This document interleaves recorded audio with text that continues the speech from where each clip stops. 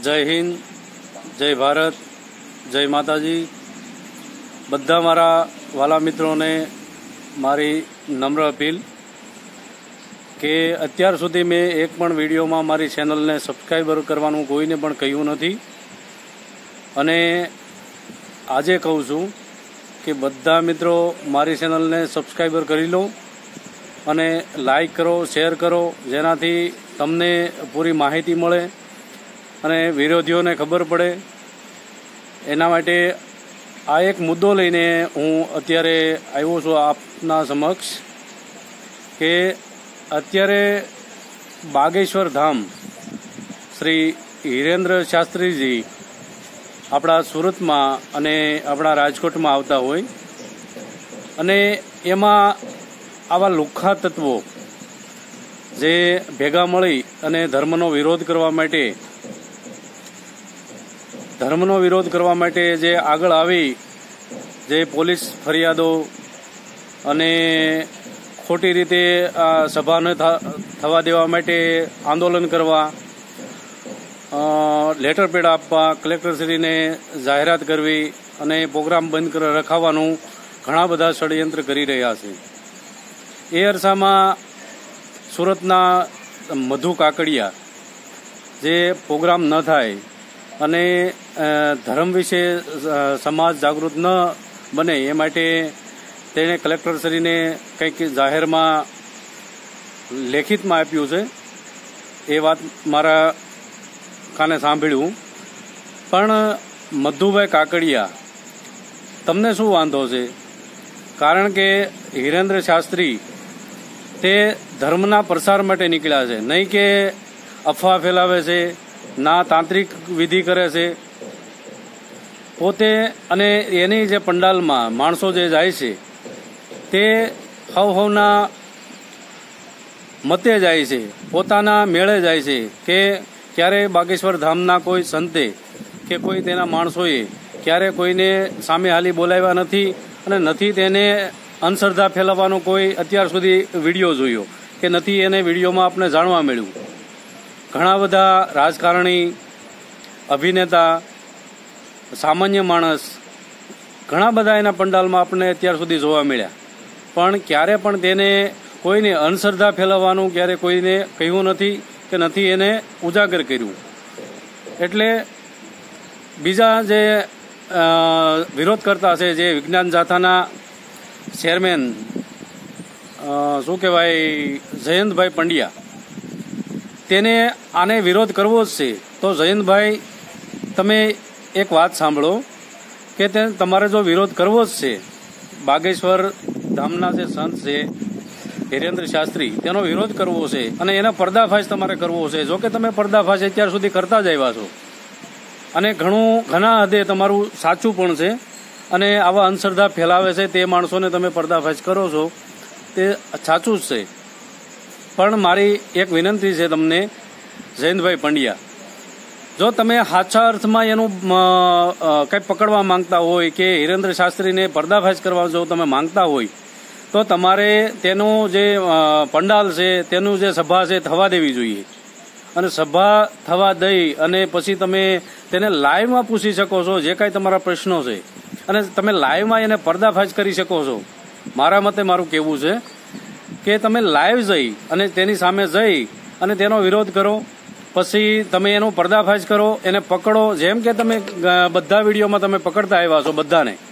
નાના માણસોને તમે પકડતા આવ્યા છો પણ તમને ખબર છે, જયંતભાઈ, કે આ ભાઈ અત્યારે જે સનાતન માટે લડે છે, જે બાપુ હિરેન્દ્ર શાસ્ત્રી જે સનાતન માટે લડે છે, તેને તમે આમ પહોંચી નહીં વળો. એટલે તમે સરકારનો એક હથિયાર બનાવી અને તેના તમે પ્રોગ્રામ બંધ રખાવા માંગો છો? અને મધુભાઈ કાકડિયા, તે પણ તમારી જ આ પ્રવૃત્તિને આગળ ધપાવી અને એને પણ આ રીતે કલેક્ટરશ્રીને આવેદનપત્ર આપ્યા છે અને પ્રોગ્રામ ન થવા દેવો જોઈએ એવા બધા વિડીયોમાં તેને બોલેલા છે અને ઘણી બધું કહે છે કે મને ગાળો બોલે છે, મને ધમકી દે છે. પણ ભાઈ શું કામ તમે? સનાતન ધર્મ છે, એનો પ્રસાર કરવા જે માણસ નીકળે છે. અને કોઈ પણ સંવિધાનમાં એવું નથી લખેલું કે કોઈના ધર્મનો પ્રસાર કરવો તે ગુનો બને છે. હા, એક વસ્તુ છે કે અંધશ્રદ્ધા ફેલાવતા હોય તો બરોબર છે. અને આ તો ધર્મનો પ્રસાર કરવા માટે નીકળ્યા છે. તો એનો તમારે જો વિરોધ કરવો છે, તો કેટલા સુધી તમે યોગ્ય છો? તમે મને બતાવો. અને તમે બધાને એમ કહો છો કે એ અંધશ્રદ્ધા ફેલાવે છે. તો અંધશ્રદ્ધા ફેલાવે છે ત્યાં કોઈ વિરોધ કરવા ક્યારે જતા નથી. તમે વીડિયો મારફતે જયંતભાઈ પર્દાફાશ કરે છે. મધુભાઈ કાકડિયા પર્દાફાશ કરતા હોય. અને તમારી આ બધી ટોળકી છે સાત આઠ જણાની. અને તમે ગેમ ખેલો છો જે રૂપિયાના પાવરે સોળ લાખ ને સત્તર લાખ રૂપિયા અને કોઈકને જમીન આપવાનું તમે કરો છો. આ બધું તમારું હવે ષડયંત્ર બંધ કરી દો માણસોને ફસાવાનું બંધ કરી દો આમાં તમને કંઈ વળવાનું નથી. અને તમે મધુભાઈ કાકડિયા અને તમારી આખી ટોળકીએ મને પણ ફસાવાનું કર્યું હતું. આ એક વર્ષ પહેલાં. મારી ઉપર ખોટા એટ્રોસિટીના મારા જ મિત્ર પાસે તમે એટ્રોસિટીની ફરિયાદ કરી અને મને બદનામ કર્યો. અને મારી પાછળ તમે પોલીસ દોડતી કરી દીધી હતી. પણ ભાઈ, ભગવાન બધાને હોય છે. જોકે તમે ભગવાનમાં માનતા નથી. મારે તમે ભગવાન વિશે કંઈ એક પણ શબ્દ કહેવો નથી. પણ તમને એક જવાબ માંગુ છું કે ભાઈ તમે માનતા નથી, તો અમને કાંઈ વાંધો નથી.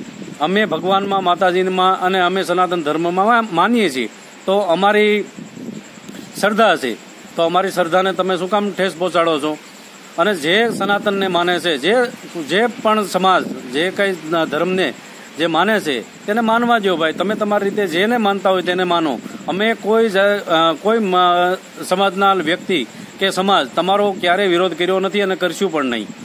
પણ અમારું જે સનાતન ધર્મ છે, એને તમે જો બોલશો, તો તમારે આ રીતે જો તમે બધું છે, તમારે પ્રવૃત્તિ કરવી પડશે. કારણ કે અમે હિંસામાં સમજતા નથી, અમે અહિંસા પરમો ધર્મમાં માનીએ છીએ. એટલે તમારે જે તમારી ટોળકી છે તેને આ પંડાલ થવા દેવો જોઈએ.